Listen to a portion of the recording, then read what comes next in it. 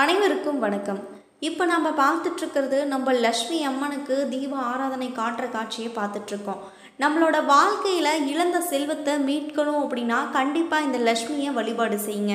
இந்த லக்ஷ்மியை நீங்கள் வழிபாடு செஞ்சீங்க அப்படின்னா எப்பேற்பட்ட கடனாக இருந்தாலும் கடன் நிவர்த்தி அடைஞ்சிரும்.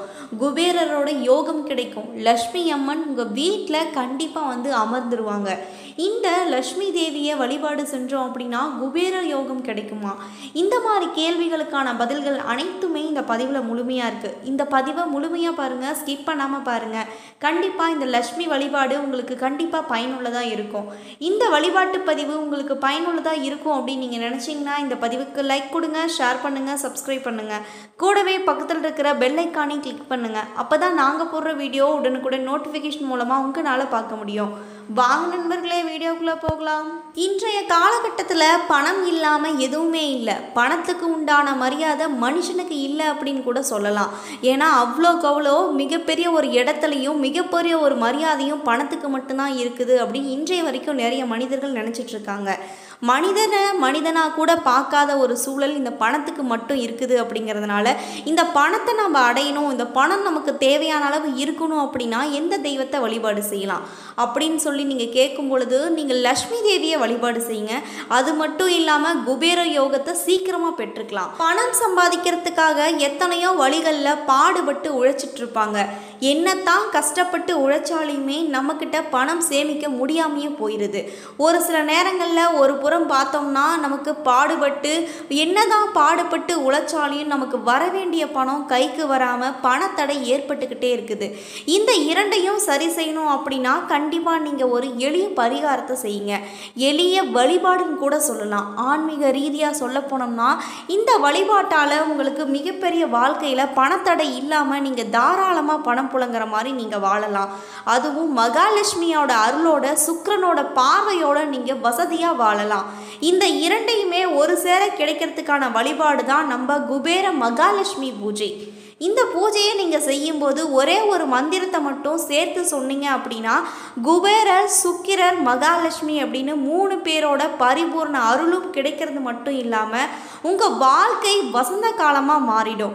இந்த வழிபாட்டை கண்டிப்பாக நீங்கள் செஞ்சீங்க அப்படின்னா வாழ்க்கையோட உச்சத்துலேயும் மிகப்பெரிய ஒரு மாற்றத்துலேயும் நீங்கள் வாழலாம்.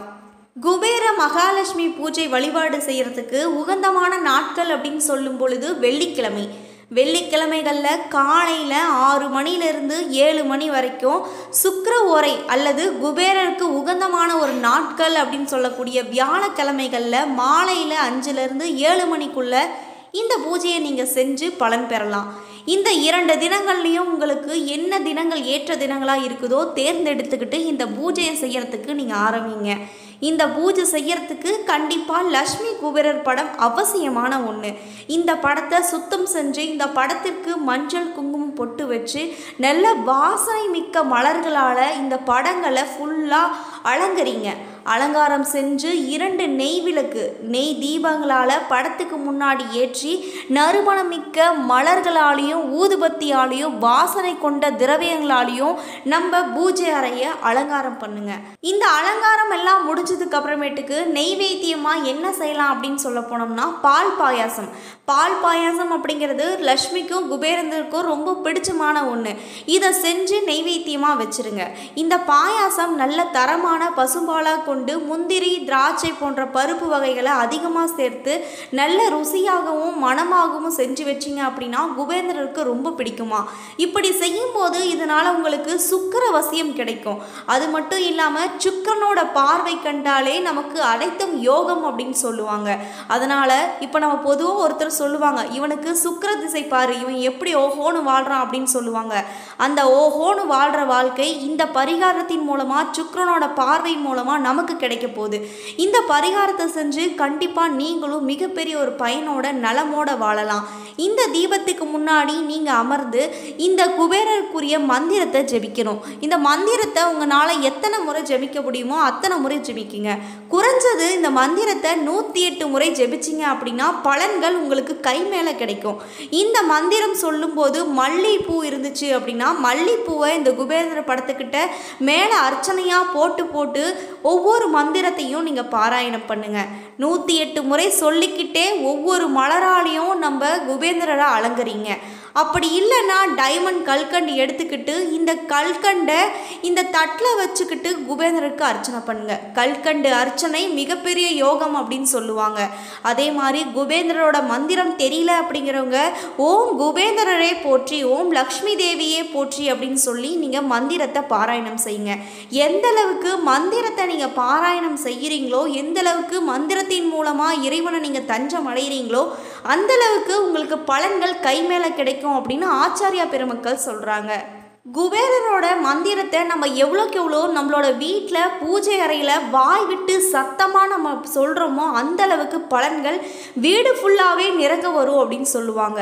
இதன் மூலமாக வீட்டில் யாராச்சும் தீராத நோயால் தினம் தினம் துன்பப்பட்டுட்டு இருக்கிறவங்க இந்த மந்திரத்தை கேட்கும் பொழுது மரண தருவாயில் இருக்கிறவங்க கூட நீண்ட ஆயுளோட வரத்துக்கூடிய ஒரு மந்திரம் தான் நம்ம லக்ஷ்மியும் குபேரனுடைய மந்திரம். இந்த மந்திரத்துக்கு பல மடங்கு பலன்கள் ஜாஸ்தி. இந்த பூஜையை தொடர்ந்து நீங்கள் செய்யும்போது உங்களுக்கான பணத்தடைகள் அனைத்துமே நீங்கி வீட்டில் அனைவரோட உடல்நிலை சரியாக இருக்கும். அதே மாதிரி இந்த மூவரோட பரிபூர்ண அருளும் கிடைக்கும்.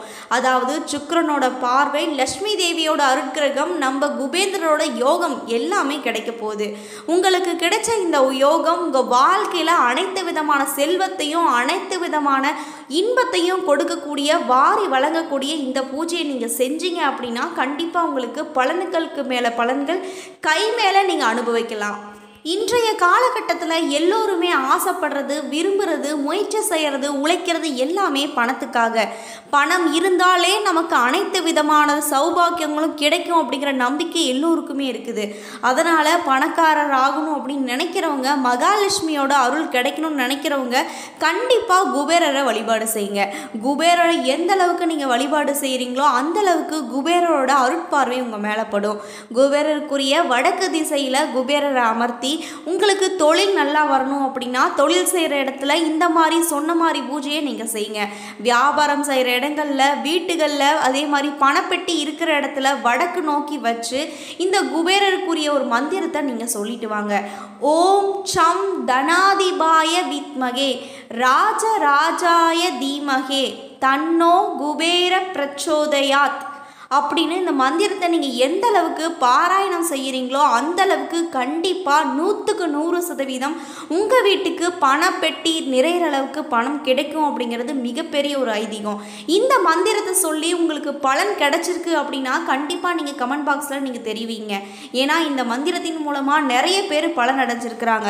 இந்த மந்திரம் எனக்கு சொல்ல தெரியல அப்படிங்கிறவங்க ஓம் குபேந்திரரை போற்றி அப்படின்னு குபேந்திரருடைய பெயரை வச்சு நாமத்தை பாராயணம் செய்யுங்க.